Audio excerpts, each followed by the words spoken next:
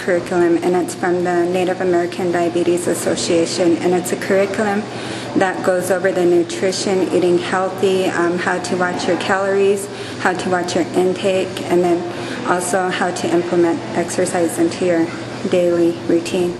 Real close, everybody that's in the class, real close. Real close, real close. Don't be scared of each other. Nice and close. Five more steps in. My name is Mike Ute. I'm 32 years old. I'm an Eastern Shoshone from the Wind River Indian Reservation in Fort Washakie, Wyoming. All right, that's a little too close, maybe a little bit further back. All right, so what we're gonna do today is we're gonna have a really quick workout, seven minutes, all functional movements. We just started that program within the last couple of years, but there was no fundamentals on exercise or even how to move or uh, any, you know, how exercise relates to being a better person, basically. It was just a class that people came in and took, and they just weighed in uh, took their weights, took their measurements, and then they gave them a little information and then sent them out the door. Get a good warm up in, get moving, get that blood pumping. I know some of you guys are probably scared. That's all right. We're all in this together, remember? Remember, help each other. Okay, help each other out. I was doing all the isolation stuff, and then I discovered CrossFit.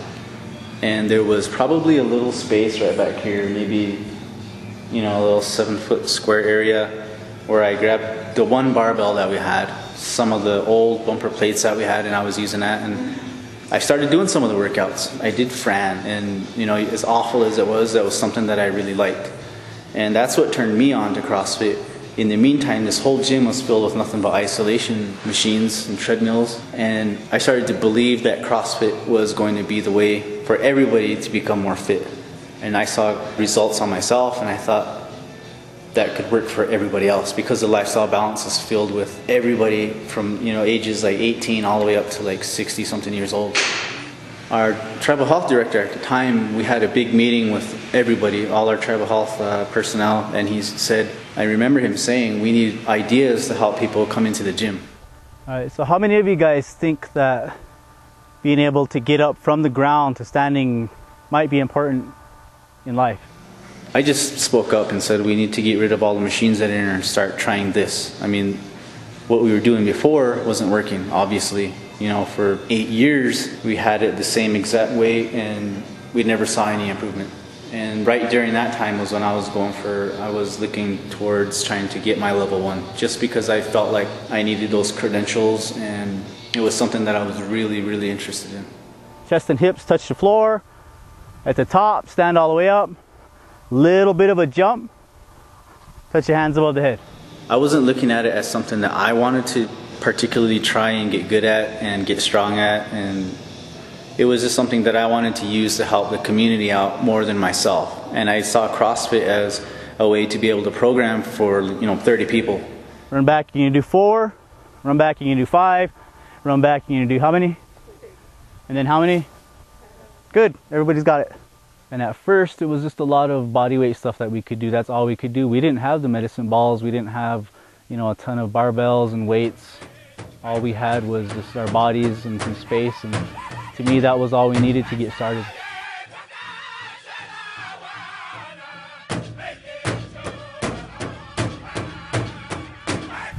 Time! Take about 10 deep breaths. And if you, and if you can, I want you to take one lap down and then one lap back. Okay, just walk, just walk. I've known Cody maybe 10 years, 10 plus years. I've known him since he was, you know, early teenager.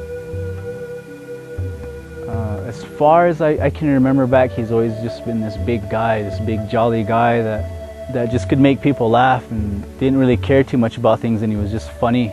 He always had the long hair, he's got the short hair now, but everybody remembers him with long hair. He's six foot eight and he was always, you know, a big kid. That's, that's how I remember him as a big kid.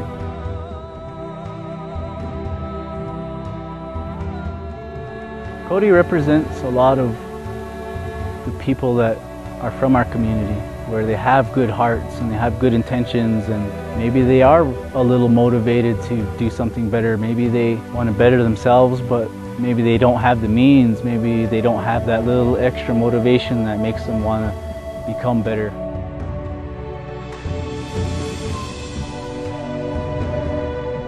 I was, I was, pretty much heading for an early grave, you know. Just with the alcoholism part, the diabetes part, you know, that really, that's a problem here in the Washakie Reservation. Is I was just another number of that, you know.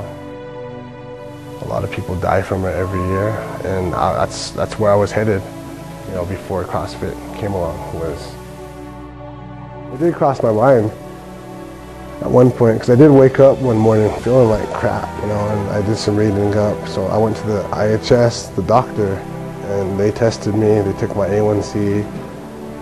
Um, he comes in and he's like, "Yeah, you got diabetes. You've had diabetes probably for a while now."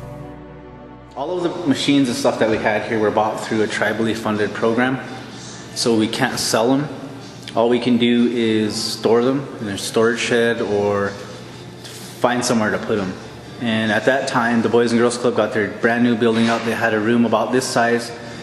They wanted to take all of the machines, and we gave them all the machines that we had the leg press, the shoulder press, everything that we had.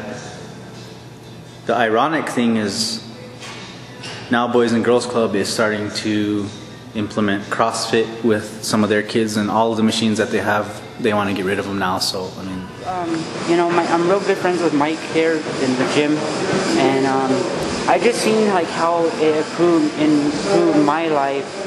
More of um, outgoing.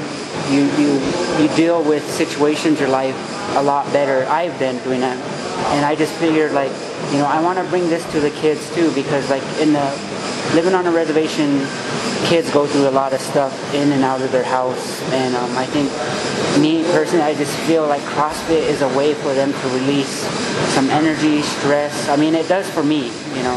I think I had it for like two years now, and like the teens, like we haven't even really touched it. It was just sitting there still. We actually started the core movements with them about three weeks ago now with the after school kids. Um, the Boys and Girls Club have a workout program that they sent to us and it, it, the kids just lose concept of it by the time it's it's for it's supposed to be for 15 minutes every day. It's just the same routine, a minute of push-ups, a minute of sit-ups and stuff like that. But um, we trans we moved it over to the CrossFit WOD like three weeks ago.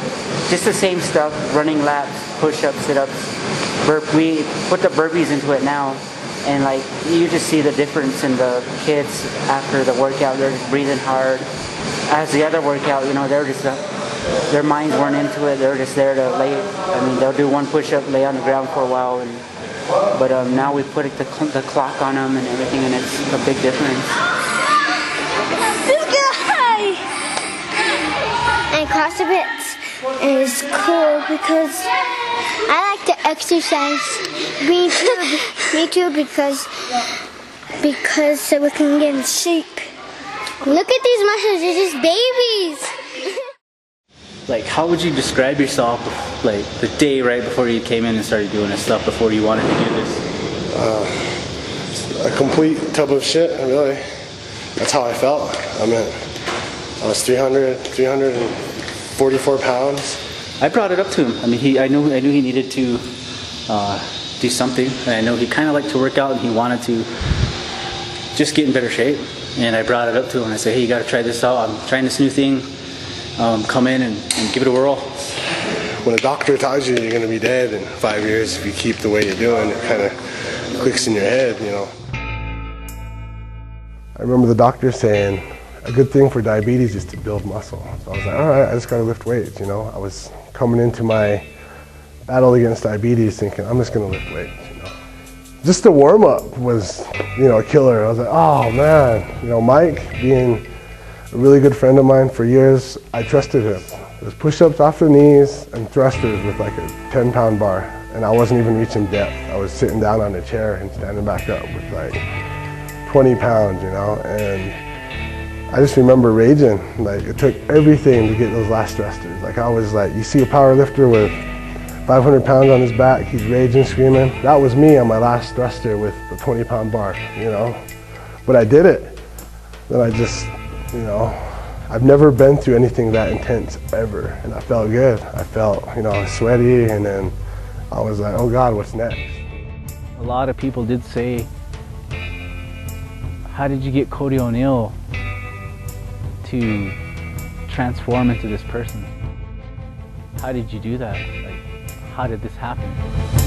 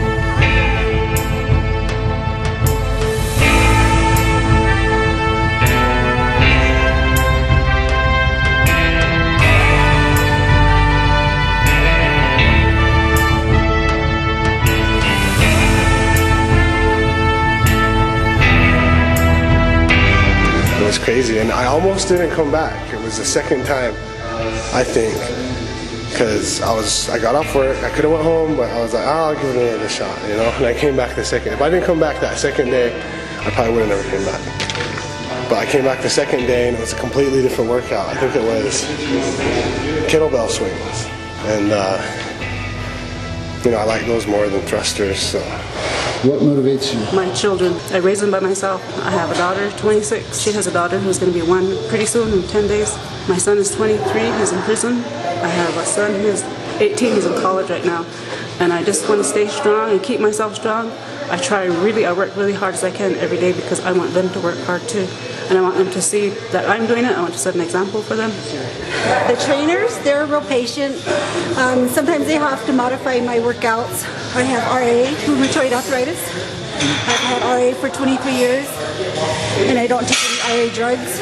We just modify, like my wrist is fused here. You see me doing the push-ups, so we found the dumbbells where I could do the push-ups. So you don't let it hold you back.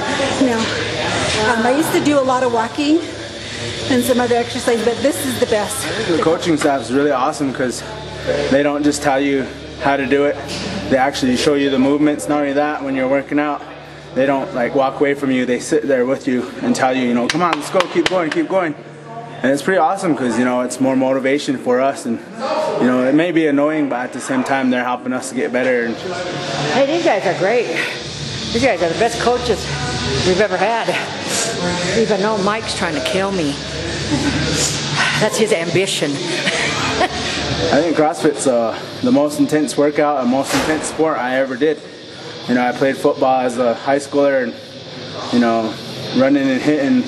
You know, I thought that was tough, but coming in here, throwing these weights around, doing pull-ups, you know, it's really intense. I really enjoy it. That's what I think about CrossFit. When I first started, I was like, I'm not going to get on this scale. I'm going to get on the scale day one. I'm not going to get on until four months. And I held it true. I didn't get on the scale. And four months, 50 pounds, bam, like that, you know. And I come here and, and it was all just, to be honest, it was just survival. That first four months was to come in here, give it my all, what's on the board, do it the best I can. It was the doctors IHS after my six month checkup saying your numbers are excellent. You know, you're you got the you got the numbers of a healthy individual, not just a normal individual, a healthy individual. Even though there's documentation in his health records, he doesn't have the symptoms when he does his blood sugar, his A1C, they're all in the normal range. And that's incredible.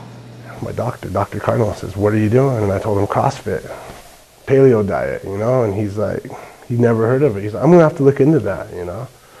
Diabetes is one of the leading um, diseases that plagues tribal people. It's only been like maybe three or four generations since we were on like you know like a paleo style diet where we had to you know hunters and gatherers, and you take those three or four generations and and then today, it's like there's McDonald's, and there's all this processed foods and sugary drinks and things that destroy the body. You know, over three or four generations, that's just the recipe for disaster. Uh, what really made me go was when I was told that I had high blood pressure and that I might be a borderline diabetic, and that's how I didn't want to be. I didn't want to, you know, I have a four-year-old daughter that I want to raise and be around with, and I couldn't stand the fact of having diabetes. So I start working out. You know, I was in this gym. I was in this gym from seven to one, and it wouldn't really work because you know what I was doing was just putting more muscle. I never did anything like this, and finally my wife, you know, introduced CrossFit to me. I got him into it, and he's like, "No, that's all you guys do is run in circles." But Now, at first, you know, I kind of, you know, dogged on it. I didn't like it. You know, I thought it was um, for weak people because it was all body movement, like squats, push-ups, sit-ups, pull-ups. I was like, that's weak. And when I first did it, I couldn't even walk the next day. I was so sore. I was just like, oh my God, this is more than what I expected, you know? I think it's a really big impact because, you know, a lot of people that are diabetics and that are um, borderline diabetics, they became out of that, you know, they came out of that stage and people that were diabetics, you know, we learned about this in our they class. just learned to take care of their health better and working out. I have a lot of friends. They're healthier, and they, some of them even got off insulin. 46 units of insulin through one of the pins. Uh, in January, discontinued them. I'm at about oh, three quarters of my meds now. So my diabetes is under control. It's been under to 150 consistently for the last five, six months. And then, uh, you know, like that was one of our coaches, and he was like that too. You know, he was a diabetic, but when he started it, you know, he was kind of the poster boy because when he first started, you know, they said he was a diabetic, and now when you look at him, everyone's like, "Whoa, that's Cody." You know, he lost a lot of weight. He he's off, you know, his medication. He's he's pretty good. You know, he's he's one of the best coaches that we ever had too. And that's my inspiration. his his uh, A1C was 13 something. It was higher than mine, and his is five now. If I could do that, that'd be awesome. If I could get rid of this, I'd be happy. my legs and my arms are toned, but just my midsection is the main thing I need to work on. buddy. Now when we see him, we're like, "Oh, hey guys, We're like a do you big family. Yeah, you know, we're like a big family now. You know, we encourage one another. You know, we're not here. We're not here to see who's better than who. You know, we're to see. You know, we're here to help each other and help. You know, a lot of people. Better ourselves, basically. Yeah. I kind of didn't want it to because like I didn't want to become like the poster boy. I really didn't, and somehow I did. You know, that wasn't my goal was to become the poster child of CrossFit and diabetes. You know, the battle against diabetes. It was it was really just um, meeting my son for the first time. You know, I I had a son with a past relationship, and you know I stayed away from him during his probably probably his first year. You know, I was partying. I, was, I wasn't giving a shit. You know, seeing my own flesh and blood. You know, this little person seeing myself. That's really what influenced me. Or that was just that was just the light. That was a wake up call. Just then, holding him. You know, smelling him. I was like, whoa, this is big. This is huge. That was huge to me. You know, now I have a reason to live. You know. You know, it's really hard because you know there's some of our family members that you know, will laugh at us and say, well, you guys, you know, you guys, it's too late to lose weight, but we're only 23. We're just barely entering our prime. I think that there's apathy here on our reservation because of social conditions. I think that there's more negative going on than positive. Is it harder to be positive or harder to be negative? especially in this in this age we're living in in this world it's so easy to be negative it's so easy to take then again if you take the time and do the hard work and actually give and give back then the payoff is 10 times than i guess taken you know? To me, all of these people that work here, that work out, they're all role models because they're taking the high road and they're doing modeling by actions. People see them running, people see them lean and strong. because right now i'm going through a custody battle. I don't have control or custody i don't i don't even get to see him. It's been like six months since i've seen him. So my drive is my son because whenever i do get to see visitation or whenever he's old enough to want to come see me I want him to see a healthy man, a healthy father. I want him to look up at his father who maybe wasn't there the first part of his life, but he can still say, hey, wow, that's my dad. Look at him. He's a machine, you know? But he's always, he's always in my mind when when I do a WOD or just when you get beat up, you know, you're laying down, you're hurting, you're tired, you're, you're wrecked from yesterday, but that's my drive to keep pushing, keep finish that WOD the best I can. You know, because I know that that's what's going to get me to where I want to be. You know, a healthy and a healthy father. You know, for my son when he does come back into my life.